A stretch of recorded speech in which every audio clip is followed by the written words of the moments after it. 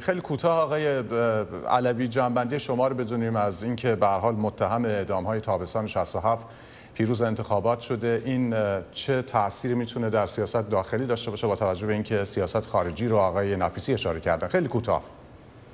بله عرض کنم که آقای رئیسی همونطور که آقای نفیسی اشاره کردن در حال از لحاظ شرکتشون در صدور احکام بسیار خشونت آمیز مربوط به اعدام و زندان از ابتدای مسئولیتشون در نظام جمهوری اسلامی و نه فقط سال 67 حالا سال 67 فجیترینش بود پیشینه بسیار فاجعه باری در اینی که نقش در حکومت داشته باشن تا الان از خودشون ارائه دادن. آقای روحانی در انتخابات قبلی که رقیب ایشون بودن در توصیف ایشون گفتن که مردم ایران کسی که 38 سال اعدام و زندانی کردن در سابقش هست رو قبول ندارن. خب شاید این مجزترین توصیف باش که میشه کرد.